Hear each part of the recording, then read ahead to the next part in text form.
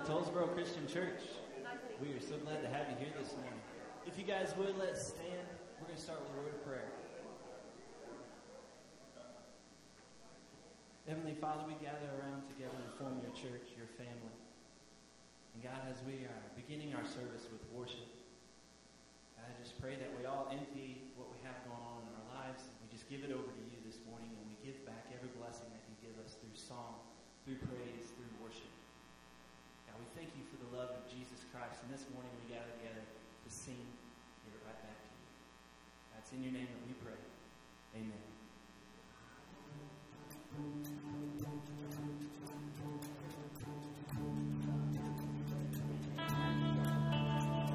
Praise Jesus for what he's done for us this morning.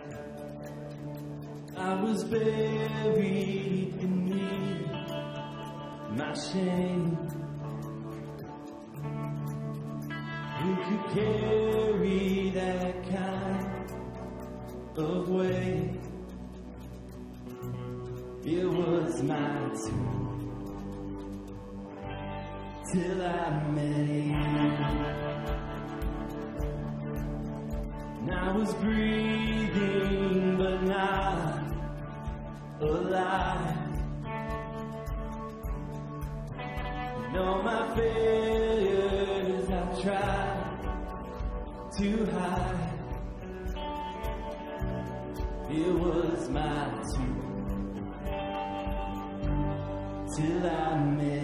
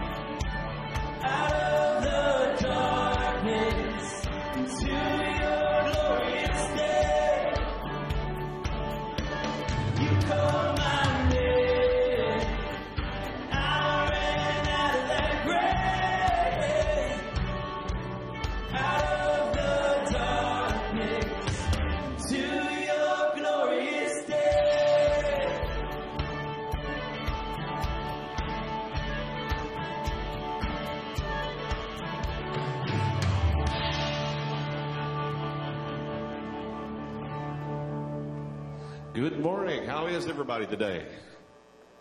Quiet. All right. Good to see you all here. Uh, we're going to be continuing this morning with our Come Together series.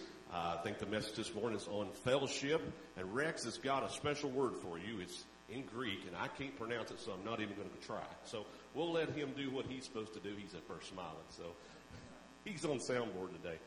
Uh, my scripture this morning uh, comes from uh, Psalms, the 12th chapter, uh, or 121st chapter, and it says, I will lift up my eyes to the mountains. From where shall my help come? My help comes from the Lord who made heaven and earth. So when you're down and you're out, just look up and God will be there for you. He might not appear in any way that you might want him to appear, but he is there and he is holding you up. So good to see everybody both here and at home on video. Uh, if you're watching with us this morning, welcome. If you're new with us here today, please fill out one of our cards in the pews there, drop it in the offering bucket over there or in the back, and uh, we'll get back to you. Let's pray, our opening prayer this morning. Father God, we thank you for for life. We thank you for your presence in our life, and we thank you for this church of believers that's come together to worship you, and we hope that and pray that that is pleasing to you. Let us lift up your name in all that is glory. We pray these things in his name. Amen. Take a minute and love one another, okay? We'll be right back.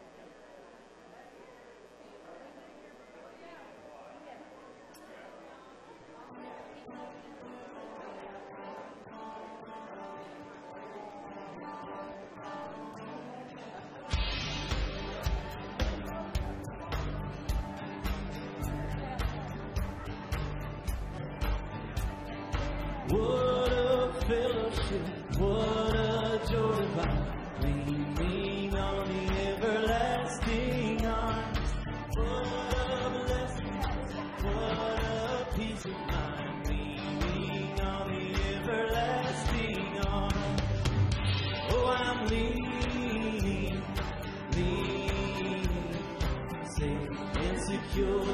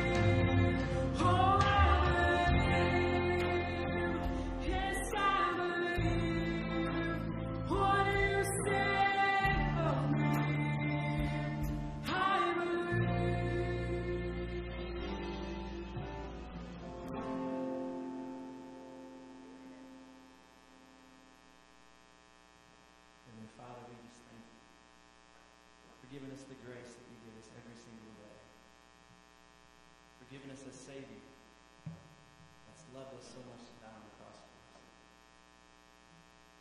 All you need to, all we need to say is that we believe. We believe in Jesus Christ. We believe that He died for our sins to save our souls. We thank you for your Son, Jesus Christ. In His name we pray. Amen. I'll be reading from a couple different verses today, so just kind of bear with me. Um, Ecclesiastes 4 9 through 12. Two are better than one because they have a good reward for their toil. Or if they fall, one will lift up his fellow. But woe to him who is alone when he falls and has not another to lift him up. Again, if two lie together, they keep warm. But how can one keep warm alone? And though a man might prevail against one who is alone, two will withstand him. A threefold cord is not quickly broken. Proverbs 27, 17.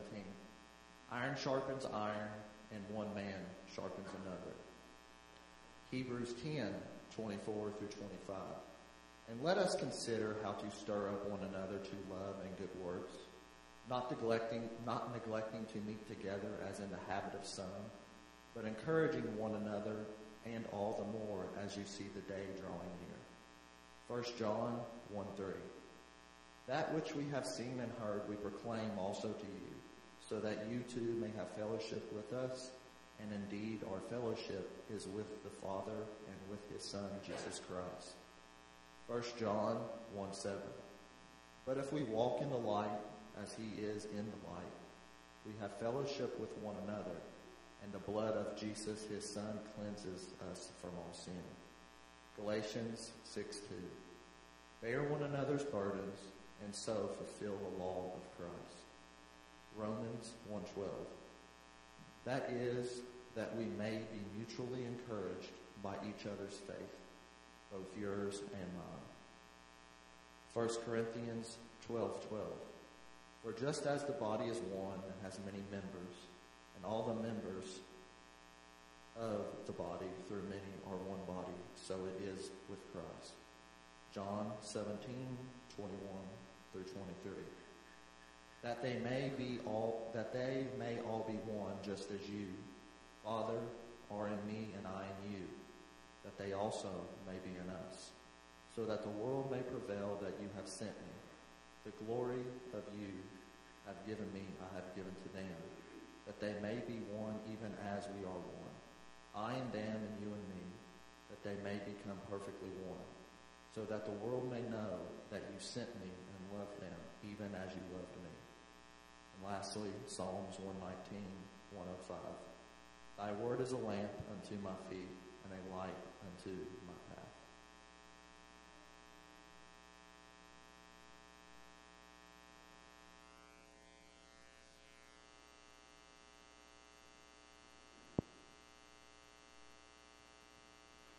kind of doing double duty today. I'm also on sound, and I forgot to do the job of the sound guy. So I forgot to turn on my microphone receiver. Um, so thank you, Brandon, for reading all of that. Uh, we'll talk about that in a second. I want to do a little bit of business before we get into uh, service today.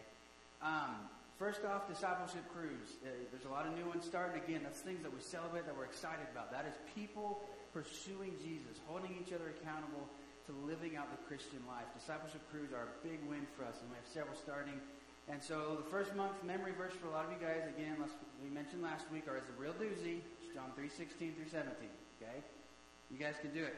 Um, the other thing, we have a big announcement. Tanner, our youth minister, some of you haven't met him yet. We're starting a new class. All right, we're going to do a four week long class called Christianity 101.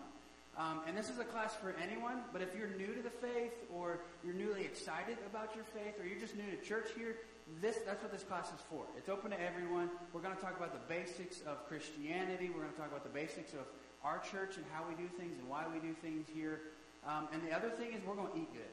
Because this is going to take, take place at 12.15 for four Sundays in a row. Okay, it's 12.15 to 1.30, lunch provided. And if I got to wait and eat lunch here, I'm going to make sure it's worth my time, so I'm going to make sure it's worth your time too, okay? So, it'll be good food. Put it in your, uh, put it in your calendar. Next week we'll have a sign up so that I can get a kind of a rough idea how much food we need to bring. Um, that being said, let's get into today's message. Um, September 11th, 2001. Um, it's getting a little weird that there are a decent amount of us in this room who weren't alive. Right? That's a little weird. Like, I can no longer use that as an illustration. When, when September 11th hit, like, there's a lot of people that are like, I wasn't born yet, or I was two, and it's kind of throwing me off. Um, but September 11th is one of those moments that changed everybody who was there's life. Right? Like, right now, all of you can probably think about exactly where you were when you found out. I was in seventh grade, um, and I was in uh, my band class at school, and I remember the teacher said, put your instruments up, pay attention to TV. And we watched, and we watched as the second plane hit. And we knew we didn't understand it. You know, a bunch of middle schoolers, we didn't, under, we didn't understand anything at that point in our life, but let alone the gravity of what we were watching. Just a few months earlier, I was there.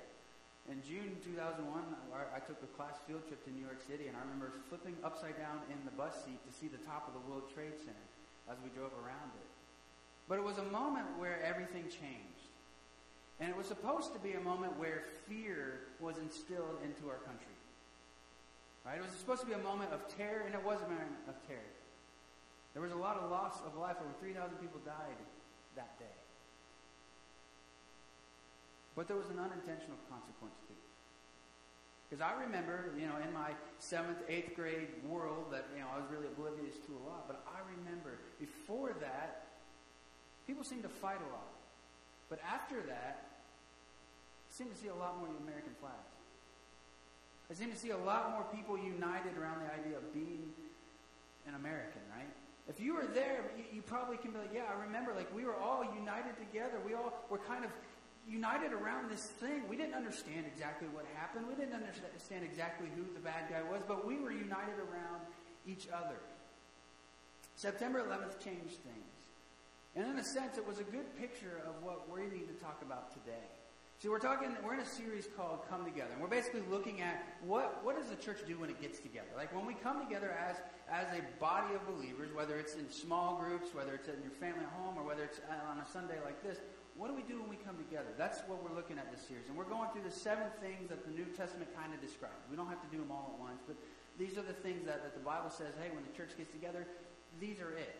And we've talked about communion, we've talked about edification, we've talked about singing. This week we're talking about koinonia. And everybody say koinonia. That's the fancy Greek word Larry can say. Um, then we're going to be talking about giving and praying and serving. But koinonia, it's kind of a, a really common word. Right? I had Brandon read a lot of different verses. I normally don't like to do that. Right? Whenever we read the Bible, it's important that we put it in context. You hear me harp on that. It's a soapbox I love to stand on. That when you read the Bible, it's important to understand what's going on. And when you give a bunch of verses like that, it's pretty much impossible to do. Um, to know who's talking and what, what, what situation brought about that word. But if we paid attention to each one of those, we saw within them the command to fellowship. Everybody say, fellowship. Fellowship. Acts 2.42 is kind of our, our source for this, right? In the book of Acts, the church had just gotten started. Uh, one of the apostles, Peter, preached, and thousands came, and, and they, they decided to give their life to the Lord. The church was really doing awesome things. And Acts 2.42 says they gave full attention to the preaching of the apostles, those, those leaders that Jesus picked out and taught himself, and to the common life, and to the breaking of bread, and to the prayers. Now, your translation probably says, where it says common life a little bit different. Yours probably says fellowship. As a matter of fact, I looked it up. This is the only translation that doesn't use fellowship. It uses life together. Because koinonia, it means fellowship. But when we say fellowship today, we don't think of what fellowship truly is. Know, Merriam-Webster's definition, to get a little cliche on you guys, says a, a fellowship is a friendly association, especially with people who share one's interests. They valued fun and good fellowship at the as the cement of their community. Or it could be the member of a college or a society. You know, it's basically people who get along together, who hang out together. And that's like, okay, that's cool. Like, that's, that's fellowship of a sort, but that's not what this word means in the Bible. That's not what Paul meant when he said it. That's not what Jesus meant when he said it. When he prayed his priestly prayer in John uh, 16, we, we read a portion of it. He said, I pray that they may be in one as I am one with you, that they would be united in fellowship. That's not just we have the same interest and we hang out. It's a little bit different than that. It has a little bit more power to it. And a lot of people, when they read Acts 2.42, they stop there. But if you read the rest of that section all the way to verse 47, it shows us what it actually looks like. It says, All those who believed came together, and they held everything in common. They sold their possessions and belongings and divided them up to everyone in proportion to their various needs. Day by day, they were all together attending the temple. They broke bread in their various houses, and they ate their food with glad and sincere hearts, praising God and standing in favor with all the people. And every day the Lord added to their number those who were being rescued. We see in the book of Acts a group of people who were so united together that they sold what they had so that they could help their neighbor. That when somebody had a need, this group of people didn't need insurance. I'm not telling you don't like drop your insurance. Don't take that, right? It's not what I'm saying. But I'm saying like this group of people, if somebody had a need, they made it fulfilled because they were united together in fellowship. It's a very different thing from a friendly association with people who share your interests. Fellowship, koinonia within the New Testament, is a much, much higher calling than that. Koinonia means life together. Everybody say life together. Life together. Life together. It is very different from just having one interest. I have several groups that I share interests. I'm on the fire department. We are interested in putting out fires. Okay, like that's a fellow. Sure, yeah, you know? And there's a bond that happens there. You know, I, I play music with people. We have a shared. That's different than life together that we see in the New Testament. Fellowship is the right word, but we don't mean that word anymore. When we say fellowship, we tend to think of what at church? Come on, say it. Food. Food, right? We say, hey, we're going to have a fellowship time. What are you thinking? Oh, I got to get grandma's recipe out for my sweet potatoes or whatever, you know. And I love that. Like, that's like, you know, like, that's awesome. That's the reason to come to church, right? Food. Matter of fact, we're going to have some food tonight. If you have never been to Cottage, we're going to have Taco Bell tonight, you know, celebrate koinonia, celebrate fellowship. And it is part of that, right? Because we talked about in the first week that food is, is incredibly powerful. Every time God told his people remember something important, he told them to have a meal when they tried to remember it. Like food's important, but that's not where it stops. That's not all of what fellowship is. It's so much more than that. We need to think of fellowship, and I know you guys know, understand what fellowship is. I know you do. Because you've seen a movie. Have anybody ever seen The Lord of the Rings? What's the first movie called? The Fellowship of the Ring. Because that's what that word means. And in the movie, if you're unaware, you've lived under a rock, the movie or the books, like it talks about how there's this task that's given to this one guy, and it's a bigger task than he can handle on his own. And so he has to go carry this out. And a group of people from all different tribes, all different races, all different places, they come together and they work together to accomplish this task. Each of them has their own skills. Each of them has their own things they're good at, their own things they're bad at. Each of them brings their own part to the fellowship. Some are warriors, some are scholars, some are leaders, some are followers, some are soldiers, some have all heart. They all bring that together to accomplish this one task. And the task takes them through very difficult places. They go through the land of Mordor, where there's scary things. I don't know about you, but we live in a Mordor, don't we? The world's a pretty scary place. And God knew that. He knew that we would need each other. That we can't make it through this life on our own. That's why we talk, that's why we have the church. And we've seen it played out throughout history. This isn't just an ideal we hold up. We've seen the times when fellowship has carried a church through difficult times. One of my favorite scholars and theologians, and just one of my heroes in general, is a guy named Dietrich Bonhoeffer. Everybody say Bonhoeffer one of the best names ever, Bonhoeffer. Bonhoeffer lived uh, in the first half of the 20th century in Germany. So if you're familiar with your world history, there was a little group called the Nazis that showed up and started changing things in Germany. And one of the things they did was they came up and they saw the church. Germany had a state-run church. It still does. It's called the Kirche. It's where we get our word church.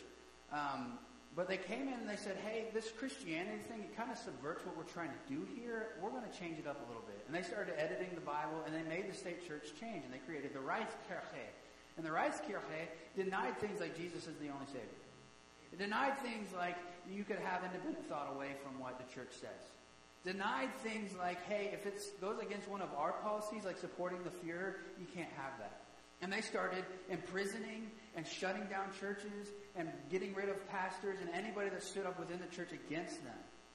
And so Bonhoeffer wasn't going to take his line down. Bonhoeffer came from a very wealthy family, a very famous family. His father was probably the most famous psychologist in his day. And so he couldn't just hide. And so what he decided to do was, and his calling as a pastor within his church was to go underground. And so he took anybody and everybody he thought was being called to be a pastor within his church, and they went to a, a remote region of Germany called Pomerania, and there he started an underground seminary, hiding from the Nazis, uniting together around trying to remain faithful to Jesus, despite what literally everybody around them was telling them to do. The world around them was literally killing their brothers and sisters. It was shutting down their beliefs. It was silencing their friends and their family. Bonhoeffer started this underground seminary, and every single day, this group of men and women would strive together. They would work together to be the church because they knew there was a lot at stake. These were going to be the people that led the church through the Nazi times. And he wrote a book during this time in his life, and it's called Life Together. Really convenient title for our message today. And one of the things he talks about is how community within the church should work. He said, you see a lot of churches out there, they're, they're focused on creating community, creating all these, these things of togetherness. He says, you need to take a step back and realize what the church really is. He says, you don't create the community of the church. Christ created it. Instead, we have to think in terms of we aren't creating it, we are participating in what Christ has already created. Christ promised that the church will survive, that even the gates of hell will not stop the church. Each and every congregation across the entire world is there because God wills it. And we don't participate, we don't just create this community, we participate in what Christ has created. And that radically changes the way we view church. Because we don't go to church to consume church, we go to participate in the family of Christ that Christ created for us. For those times like Bonhoeffer lived in, when they were being hunted and persecuted, we are free in this country, and that is a miracle. It is something I am grateful for every single day that we can come in here and we can talk about Jesus openly and freely and not worry about it. Not worry about the government shutting us down. We are free to do that here, but that may not always be the case. I'm not teaching doom and gloom or anything like that, but I'm just saying that we can go to other parts in our country where our brothers and sisters in Christ don't have this. And that for them, fellowship means something much different than what we think of. We think of food. they think of surviving. They think of hiding. They think of avoiding prison, of being the family together. They are literally risking their lives for fellowship, to strive together through the struggles. And so that gets us to the big question of today. Why does the church exist? Let's, let's think about this on a cosmic scale. If you, you remember part of our Thessalonian study we did on Wednesday nights uh, uh, a couple years ago now at this point, um, we talked about how when, when the world broke, everything divided. Right? Like, if you look at the story of creation, you look at Genesis, and you see the way everything's described, there is no division there, right? Like, no, they didn't have to hunt animals to eat, right? They didn't have to do that in the, in the beginning. Like, they, they didn't have to fight against their neighbors for their land and resources. Everybody was united. Man and woman, they were all united. There was no tribes, there was no division. Everybody was united together. And there was no division between them and God. There was no division between them and nature. Everything was united. But then when sin entered the world and it broke, everything became separated. And it's only become more and more separated. We get separated from nature. We're constantly at struggle with nature. We have to work and toil to grow our food, to build our houses, to have the resources we need to survive. We have to struggle against our neighbors because there's the bad guys over there. September 11th was a perfect example of that, that there is struggle between man and man. The humanity is as divided as it can get, and there is division between us and God. And so Jesus came as the great unifier. That is a core message of the Bible that Jesus came and did what he did to bring unity back into creation. Because eventually it'll get to a place just like the garden, where there will be no division between anything.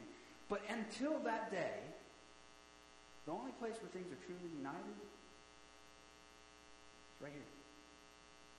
That we have brothers and sisters who are on the other side of the planet, who we will never meet, who speak a different language, who were raised a completely different way than we are, who have a completely different worldview than we are, but they're going to spend eternity with you and I. We are going to be united forever with them.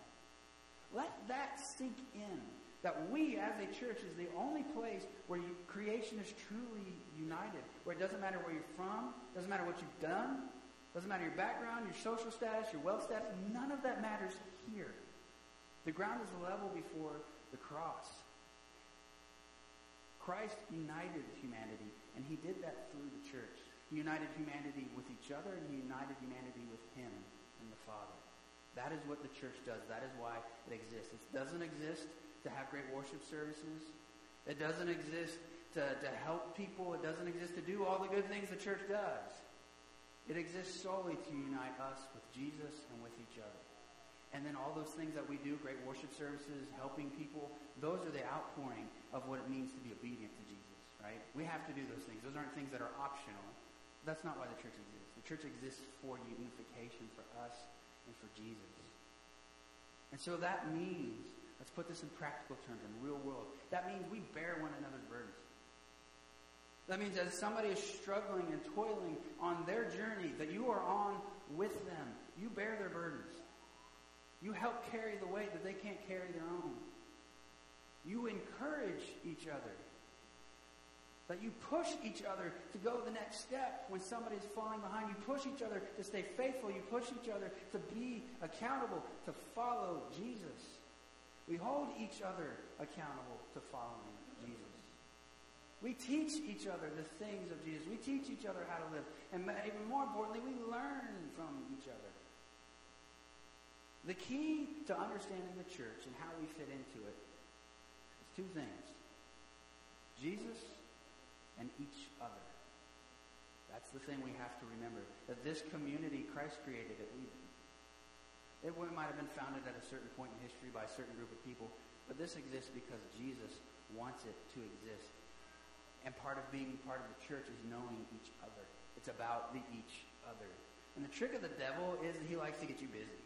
Right? He likes to get you so busy that you don't become part of the each other.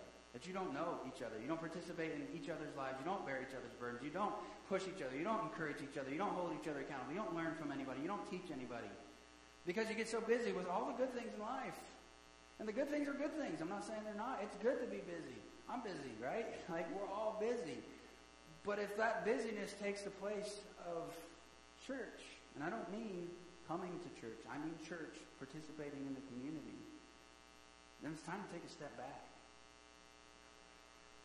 The not so nice truth about our world that we live in is that church needs to be a priority, and we don't like to say that. We don't like to say that, that the community of Christ should be pretty far up there on your list as far as your priorities. Should go God, your relationship with Jesus, your family, and church. And again, I'm not talking about just this individual congregation. I mean church in general. Because when it comes down to it, we look at Acts 2.42, and we look at the rest of that section, we see that they didn't just have a church they went to church was their life. Church was their lifestyle because we don't think of church as a congregation. They didn't think of church as a building. They didn't have. They thought of church as Kirby and Terry and Wally. They thought of church as all the individual names. That was the word church to them. It had nothing to do with a building. And we need to reframe our thinking like that. That when we think of church, we think of each other. That we think of caring for each other, of taking care of each other, of encouraging each other, of teaching each other, of learning from each other. That is the way we have to start thinking of koinonia, of fellowship, of church. Because that's what eternity is going to be. That each and every one of us, remain faithful, will spend eternity together. You know, life is short. It's not that long. Some of us are blessed with 60 years, 70 years, 80 years, 100 years. But when you look at that, look at that compared to all of eternity, that's a recess in second grade. Right? Like, you remember what you did at recess in second grade? Any of them. Any of them. No, you don't. In eternity, our lives are just a little bit of our existence. And so make sure your priorities are straight. Make sure your priorities are where they need to be. And that is God, family, church. and so as we enter into our time of communion, if you don't have one of these uh, little communion cups, we have them up here in the front, on the side, and in the back. Uh, feel feel free to help yourself to one. Our time of communion is where we honor what Christ has done. The fact that we're sitting here, that we have this group of people that we are fellowshipping with, that we are struggling with, that we're living life together with, that we're encouraging and being poured into. We take this moment to remember what started it all. And it all started with a man willingly giving himself up, willingly allowing himself to be beaten, brutalized, executed for a crime he didn't commit on our behalf. So as we take this communion, let's just take a moment and put the world aside. Take a moment and just let everything else fade away. And ask that you open up the bread side.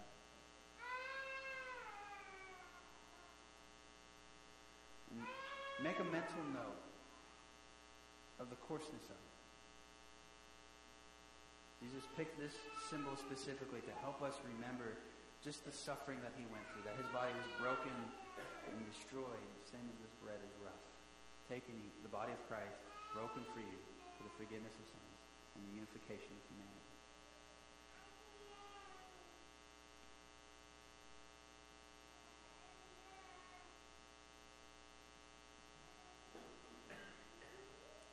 I'll take and open the juice side. And remember the blood that Christ spilled. He shed for each of us, taking the punishment that we deserved and giving us the reward. And as you drink it, taste the sweetness of it. The reward that we get, that we didn't earn. Take and drink. Blood of Christ shed for you for the forgiveness of sins and unification.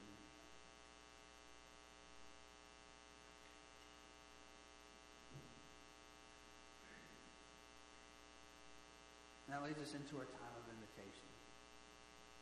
Our invitation time is a time where you are invited to the next step.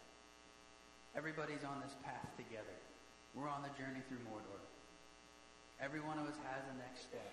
Whether it's God is calling you to take a big leap into something greater, or He's calling you to, to meet Him for the first time.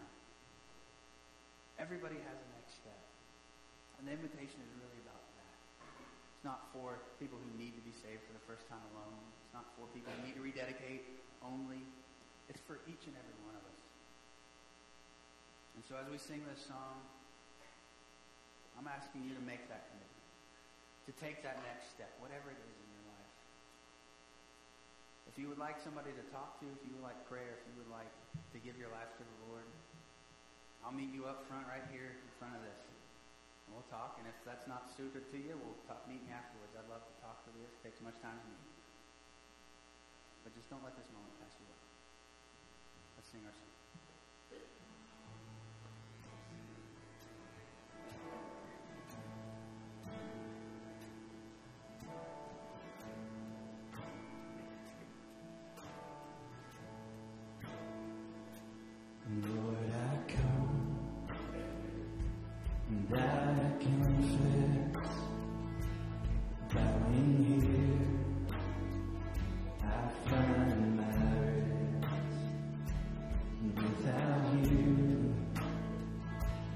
Fall apart. You're the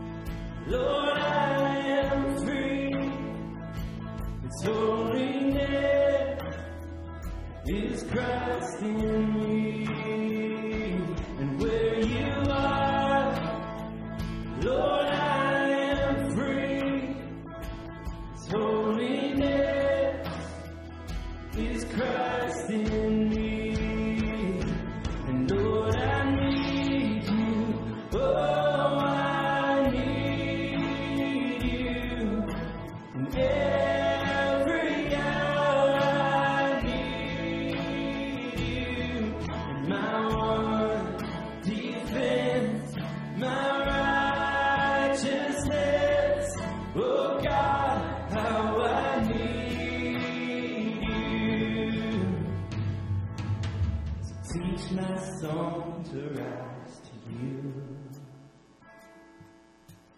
When temptation comes my way,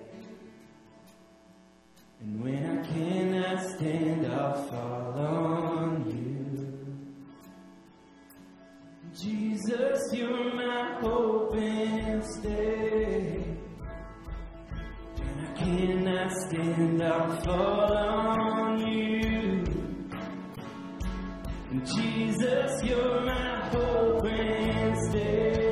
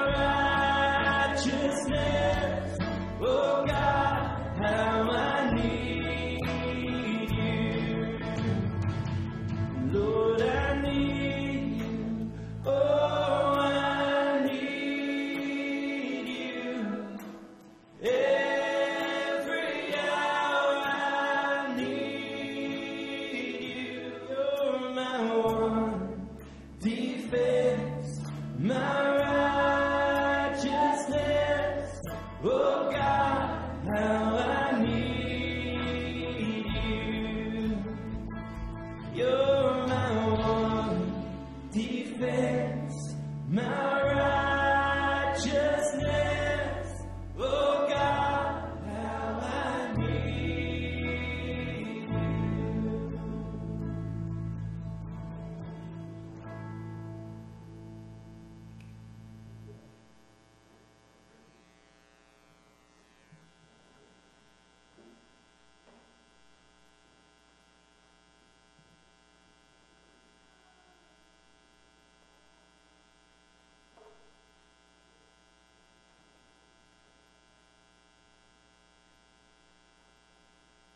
you guys like to start off with a really good announcement? Yeah, Me too, me too. Taylor and Kelsey, would you like to uh, come down here?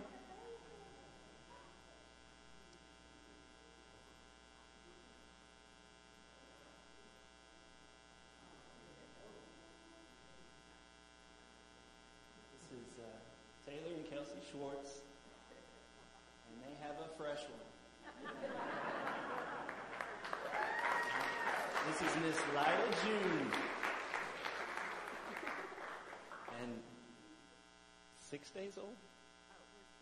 Ten days old. Ten days old. So uh, I'll tell you what, let's pray over Lida real quick, and um, then we'll continue on with our announcements. Heavenly Father, we just want to thank you for Lida. And God, I just pray that you continue to give Taylor and Kelsey strength and endurance and everything else they're going to need for parenting.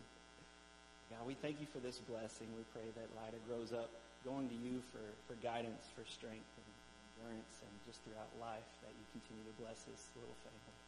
Uh, we thank you for her. It's in your name that we pray. Amen.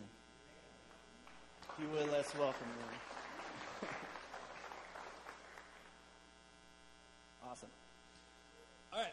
Uh, we have a few other announcements. On September 25th, right after church, we are going to have a chili dinner. This is going to be put on from the Girls in Action class. And what this chili dinner is going to be for is raising money. Um, there is going to be a mission trip. Now, you may need to correct me. This is going to be Patty, Chris, Bill, and Caroline.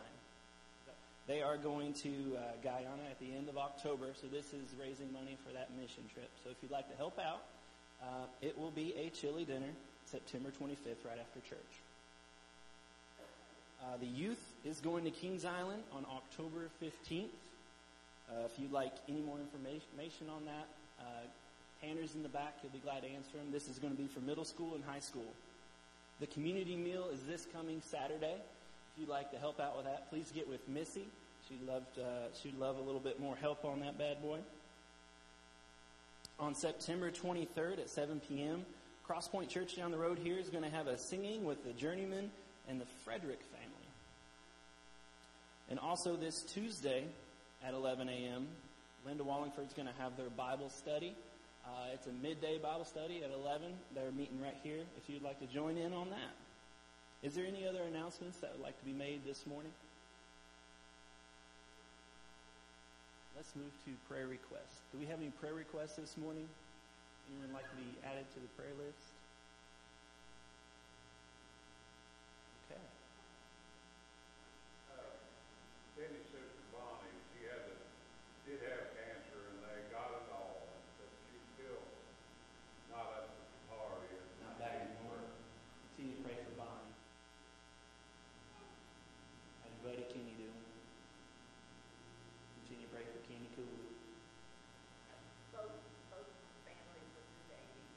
Continue to pray for both the, the Hams and the Schwartz. Continue to pray for them.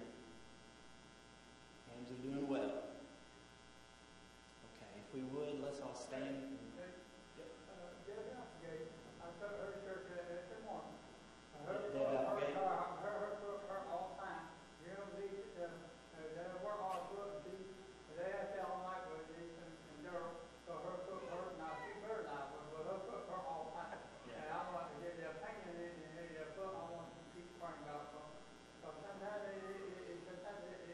Deb Applegate. We do continue to pray for Deb Applegate. Debbie Applegate. Jim? Could you mention a little bit about the Mead family? There may be some folks here that were not here last week. Uh, so the Mead family is a family that we are supporting uh, a little bit down south, and uh, we did a special offering a couple weeks ago. We raised over seven thousand dollars for them, and right now they are living with uh, their son, which is in a house that is up on top of a hill that didn't get super affected, but it wasn't in great shape to begin with. But the Mead family is. Um, let's see, they're they're getting the mold sprayed and they're getting it all cleared out, and I believe they've got that taken care of. And so next is going to be rebuilding the inside of their house and making sure everything's good. But um, it, they've got a long way to go, and it's a very big family. And um, is there anything that we can add to that, Gina? Anything you'd like for them to know? Getting a new roof with the money that was raised because their roof during all this started leaking. So she told me Wednesday, thank the church that they're able to get a roof with the money. So that money that we raised is going towards a new roof, uh, which is yeah, that should be step one. Keep the inside of that house dry. Awesome. Next thing is sheetrock. And drywall on the dub. So continue to keep them in your prayers, and we're going to continue as a church to support them in any way that we can. keep uh, was all around the world, and uh, in 70 years she had, had traveled all around the world and in all countries that love her. And keep her, in- keep her in prayer for she was she died to us first, uh, Queen Elizabeth. And Yep, continue we to pray all for we the all whole can country. go, uh, the whole country love her. Absolutely. If we would, let's stand and we'll close with prayer.